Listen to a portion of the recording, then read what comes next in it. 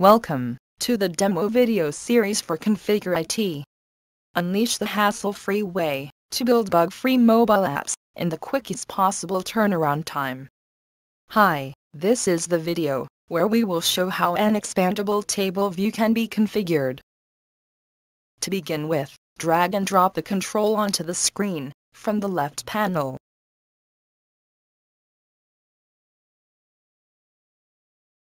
From the Property Action window, set the desired coordinate and size for the table under the Objects section. From here let's add section header to the table view. And in the same way you can edit the height of the header.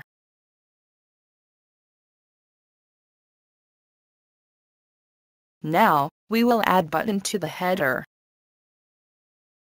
This button will be used to expand and collapse the table view. One can also edit the title of the button under the Display section of Properties. Here you can change the background color of the title.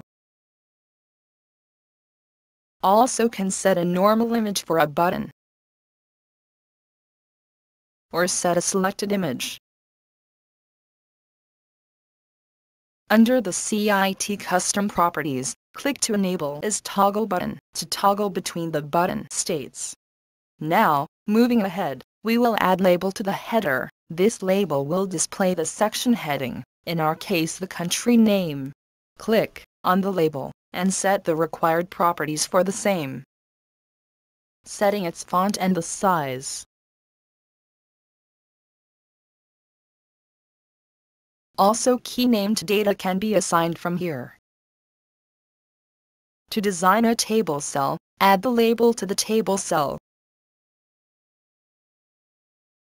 And select the parameter for the key named data, which will display the name of state. Select Form Object to be used as Expand Button Identifier. And select Button. In the Action window, click to call API on load. Here select desired action say API call, select data source and save.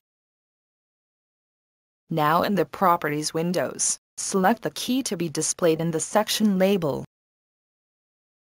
That's it. Let's preview the expandable table view. In the Preview It app click on the most updated icon it will start downloading the updated version. Here you can see the expanded list of states. Now under the Properties, search for Hide, and click on Advance. Here, select the resolution and hit Save. Refresh the screen and the changes made will be reflected. Enable Show All Open Sections from the Properties window and refresh Preview It app. And it will let you view multiple open sections.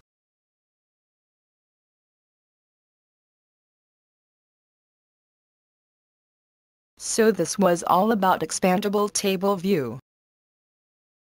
For more information, visit our Help Center. Stay connected via a support ticket portal or live chat, where our support team will assist you. Keep configuring. Thank you.